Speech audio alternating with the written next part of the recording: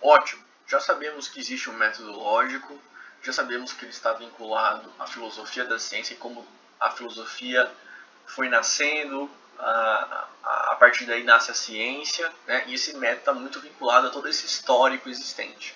Né? Sabemos da relação entre um projeto e a produção em si, desse conhecimento científico, por meio de TCCs, dissertações, do, é, teses de doutorado e artigos científicos.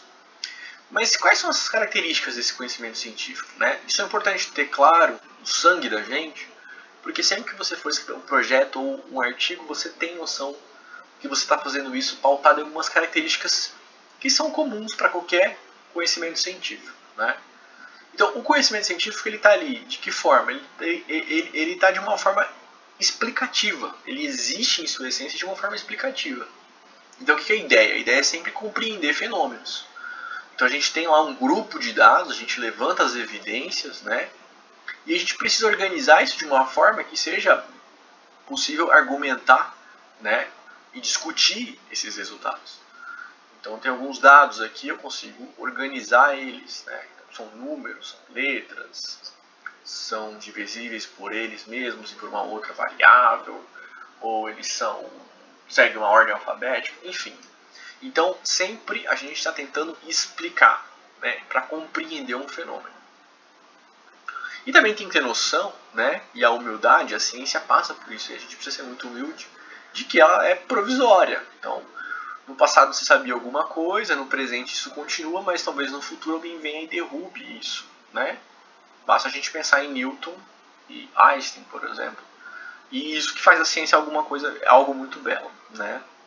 E isso é muito relevante para para a nossa sociedade, né? Para como a gente é, vive, se comporta e saber que as coisas podem mudar. Talvez algo hoje é aceito e funciona muito bem, mas um dia, por algum outro motivo, as coisas acabem modificando.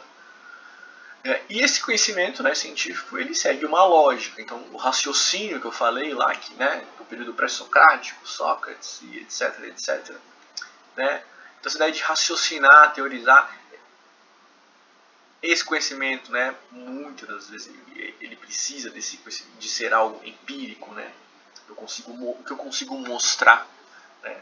Nem sempre o que é só uma teoria ainda está aceito pela comunidade e provado. Né?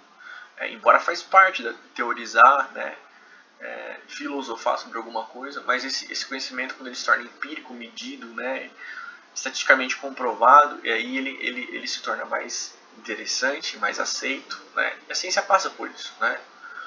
E aí a forma de argumentar, você tem que trabalhar com dedução, com indução, né? É, depois mais para frente eu posso falar um pouco mais sobre isso, mas tem a ideia que a sua dialética, a sua argumentação, né, quando você tem os dados, você vai passar por esse tipo de análise. Então, por exemplo, às vezes algo mais genérico, né? Você tem lá que todo homem é mortal e você analisa lá, João ele é um homem, você conseguiu identificar isso. Então, logo você consegue concluir, né? Você está argumentando e consegue que João ele é mortal, né? É... Ou, por exemplo, você parte de algo de uma amostra e consegue generalizar. Então, a indução, sem dúvida alguma, é fazer ciência de mais qualidade. Né? Não que indução não seja, mas que com indução você consegue, por exemplo, você analisou lá 100 systems que foram observados, todos eram brancos, né? E aí você consegue concluir todos os systems são brancos. Então a gente conseguiu generalizar uma situação. Então isso é o conhecimento científico, né? essa capacidade de explicar alguma coisa usando lógica e sabendo que é um conhecimento provisório. Né? Então, aquela ideia de observar alguma coisa, criar hipóteses sobre aquilo, experimentar, testar, verificar se aquilo, é, aquela hipótese é verdadeira ou não, fazendo uma análise né, desses resultados e conseguir generalizar, isso é muito das características do conhecimento científico. E eu espero que você se apaixone por isso, porque isso é demais.